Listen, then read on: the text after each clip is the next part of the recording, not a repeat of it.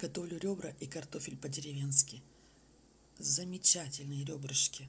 Красивые, вкусные, нежные, с запеченной картошечкой. Праздники хоть заканчиваются, но все равно хочется чего-то такого вкусненького и нарядного. А для этого я беру картошку, нарезаю вот на такие дольки.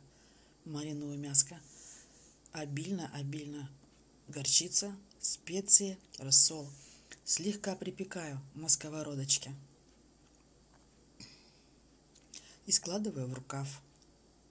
Запечатываю рукав, сверху делаю несколько проколов ножом ставлю в духовку на 40 минут.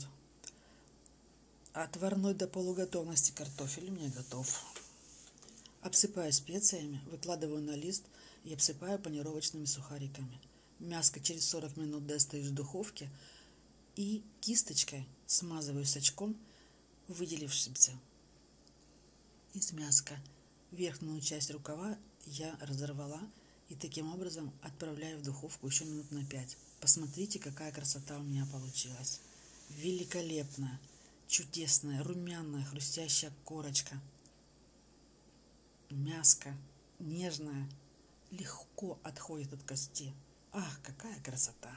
Приятного всем аппетита! И с праздниками вас!